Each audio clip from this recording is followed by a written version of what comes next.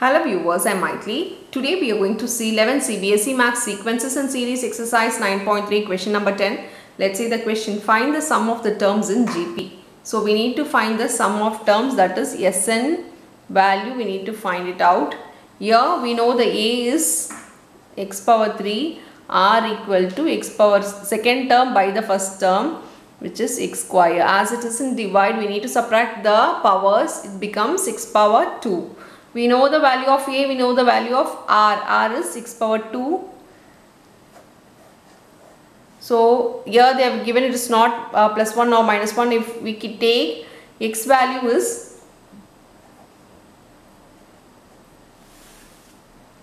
less than 1, we'll substitute the SN formula.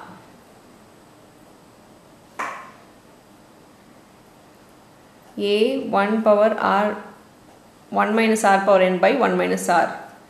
Now a is x cube into 1 minus x square by 1 minus 6.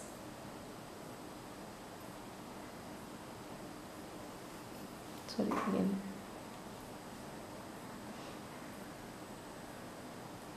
Here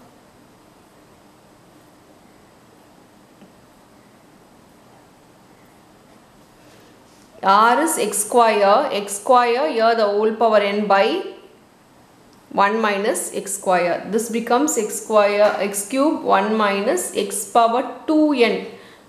Here 2 into n will become 2n by 1 minus x square. Further we can't solve it.